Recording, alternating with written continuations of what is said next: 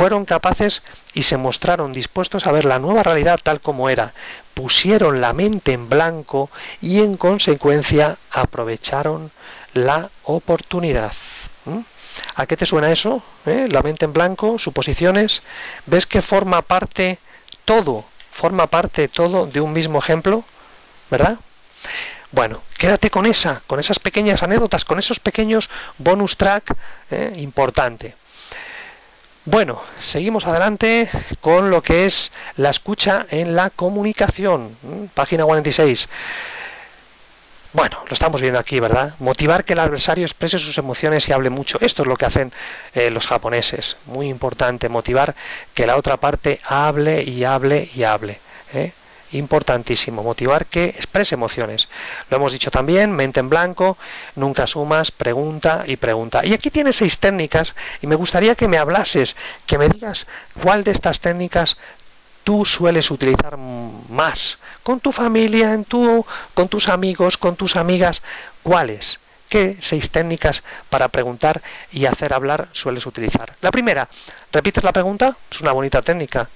Pues sí, he estado en el cine. ¿Has ido al cine? Para que la otra persona hable más. Preguntas abiertas. El qué, el cómo, ¿vale? El por qué. No preguntas cerradas diciendo cuándo, cuánto, ¿eh? algo que la persona le permite, le permita explayarse, ¿no? Apúntate como otra herramienta lo que es un 3 plus, lo que es un 3 plus, tres preguntas sobre un mismo tema. ¿eh? Si alguien te dice, bueno, ¿y me dejas pagar en plazos? Oye, cuéntame, ¿por qué es importante para ti el tema de pagar en plazos? No, pues porque me encuentro en una situación peculiar, de pocas tesorerías, ¿y en cuántos plazos estarías pensando?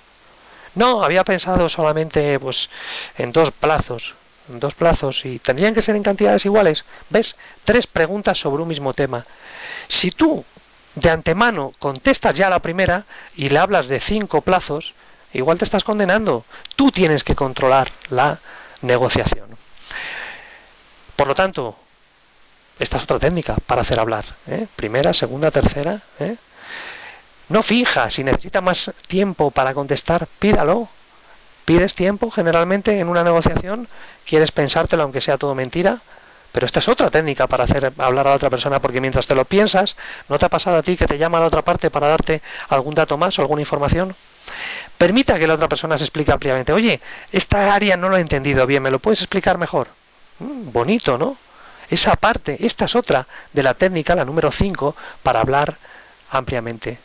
Y la 6 repita las últimas palabras que ha pronunciado. ¿Mm? Lo mismo, ¿no? Si está vendiendo un teléfono móvil, pues este teléfono móvil es un teléfono 3G que permite la actualización de forma remota. Perdona, ¿eh? ¿has dicho que permite la actualización de forma remota? ¿Eh? Repite las últimas palabras que ha pronunciado. Repetimos, repita la pregunta, nunca mejor dicho, preguntas abiertas, aplica un 3 Plus, tres preguntas sobre el mismo tema, no finja si necesita más tiempo para contestar, permita que la otra persona se explique ampliamente y repita las últimas palabras que ha pronunciado. Busca áreas de mejora, ¿vale? Y si puedes practicar todas, mucho mejor. Utiliza también estas, estas afirmaciones. Cuando alguien te dice pensarlo, oye, me lo voy a pensar, oye, cuéntame, aunque repito que con este sistema, con este método de negociación va a ser más complicado porque tú estás buscando directamente el no. Oye, cuando dices que vas a considerar la idea, ¿qué quieres decir? ¿A qué te refieres concretamente? Cuando dices pronto, quieres decir mm", y te quedas callado, ¿eh? Una especie de pregunta con silencio. Estoy un poco confuso. ¿Me puedes explicar qué significa gran calidad? ¿Mm? Es otra manera de qué? De intentar reunir más información. Bueno, nos vamos al ejercicio número 48. Ejercicio perspectiva. ¿eh? Ponemos ahí en parejas. Sería interesante que lo hicieses con alguna persona más. ¿no? Vamos allá. Em, lograr que el objetivo es lograr que en cada negociación nos olvidemos de nosotros mismos y nos involucremos en el mundo del cliente, el mundo del adversario, la otra parte. Ahora escuchará una anécdota de Stephen Covey donde un padre y un hijo van en un metro y o van en metro y después lea el texto siguiente. Vamos con la anécdota y ahora leemos el texto siguiente en un minutito. Bueno, Stephen Covey mm, cuenta cómo en un momento dado estaba en el metro estaba en el metro un padre con sus tres hijos, entran directamente al vagón y en esto que el padre se sienta y los tres niños empiezan a corretear, empiezan a pegar patadas allí a los asientos, a jugar, a subirse a la barra. Y entonces llega un momento que lo típico, ¿no? Se va haciendo un corrillo de, de gente y empiezan a decir, pero bueno, ¿y este hombre? Pero no se da cuenta, sus hijos, pero hombre, este es un mal padre, pero ¿cómo puede ser posible? No le dice nada a los chicos. Y llega un momento que uno de ellos, del grupito que se había montado ahí en el vagón del metro, le dice, oiga señor, perdone, perdone, pero ¿no ve usted que sus hijos están molestando, están corriendo en el vagón? Y le dice, ah, sí, sí, mis hijos. Dice, mire, es que acabamos de venir del hospital y me acaban de comunicar que su madre ha muerto. Y estoy pensando cómo decírselo. ¿Qué ocurrió ahí en ese ejemplo? ¿Qué nos dice Stephen Covey? ¿Hasta qué punto las lo que son los prejuicios, las opiniones de lo que la otra parte es o deja de ser, cómo de repente todo eso cambia por una situación particular que desconocíamos, todo eso cambia y gira, ¿no? Bien, quédate con ello porque este ejercicio tiene que ver con eso, con la perspectiva. ¿Hasta qué punto tú eres cambiar de cambiar la perspectiva en la otra parte? Y a mí este ejemplo, este artículo del Newsweek International me encanta, porque muchos de vosotros conocéis a Jane Goodall, la mayor experta del mundo en chimpancés. Ha pasado los últimos 30 años en África.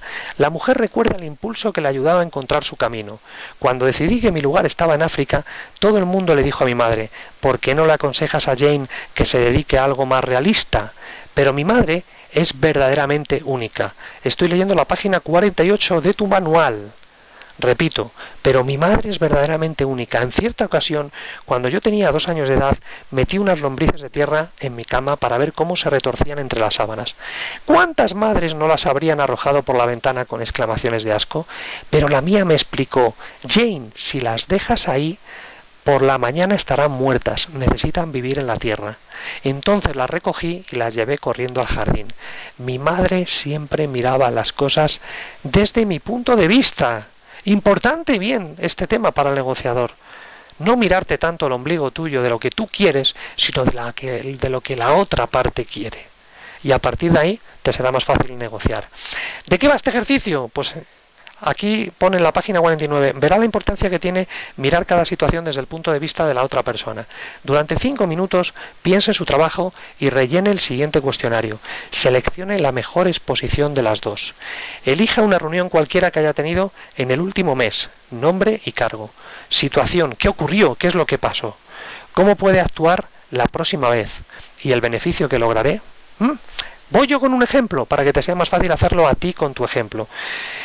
Elija una reunión cualquiera que haya tenido el último mes. Bien, pues yo recuerdo una reunión que tuvimos eh, en la oficina donde bueno pues empezamos a, comunicar la nueva actividad del teletrabajo donde empezábamos a fomentar a distintos trabajadores esa opción de que cada uno trabajase en en casa, ¿no? Más que ir directamente todos los días a la oficina en una de las empresas que tengo, ¿no?